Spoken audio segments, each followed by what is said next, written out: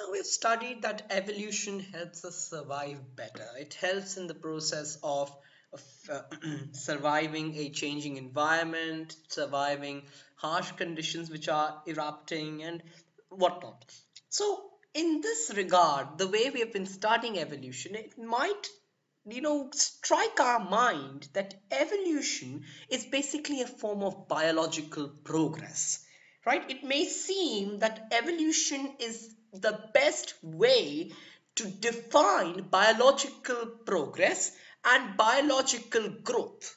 So the development, the progress is immense and evolution is just a wonderful, wonderful progress. No, evolution is not the same as progress. Just understand. That's what we're going to do in this video. Evolution and progress.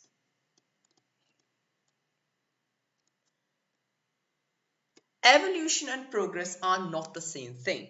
Why? Well, evolution may help organisms survive a changing environment and survive uh, better. However, we cannot say that those organisms who have evolved better are the ones which are going to survive forever. They have evolved, they have like progressed in life, and the ones which are less evolved, they're not going to survive, they're going to perish. That's not that's not what, what's going to happen. Although Darwin's theory, you know, misguides our mind to believe that, it's not that evolution and progress are the same thing. He doesn't mean to say that in a sense. He says that they survive in a changing environment better. But progress and evolution are not the same thing.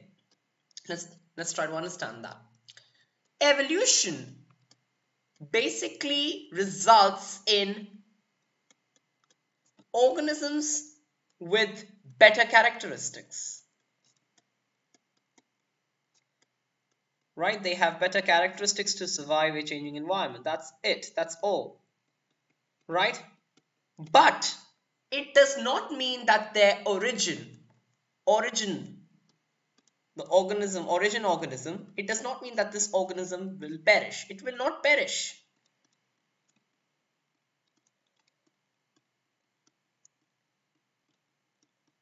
It's not going to perish. It still has its characteristics present. So we're not saying that, you know, we are transiting from one form of characteristics to another. It's not like that. That's what we call progress. That's what that would be progress. But we are not, you know, drifting from one group of characteristics to another. It's not like that. Those original group of characteristics still survive. So original characteristics still survive.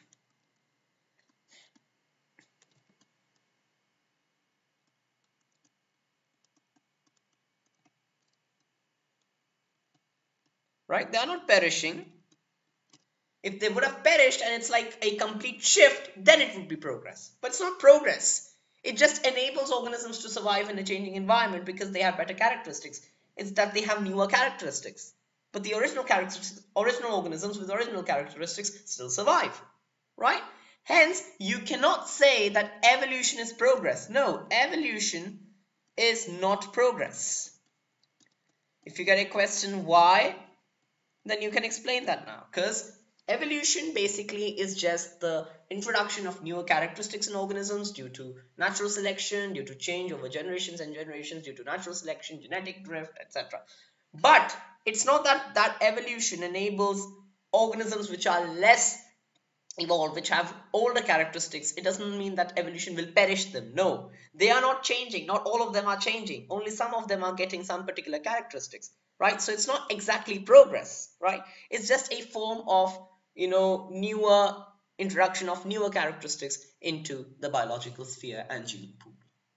So I hope you're clear with the fact that evolution is not the same as progress.